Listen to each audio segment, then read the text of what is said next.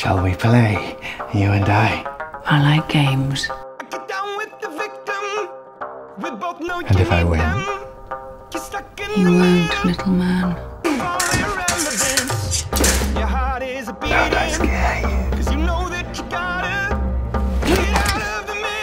I whistle away haunts like you before breakfast, love. You seem to be a woman who understands why submission to another would be intolerable.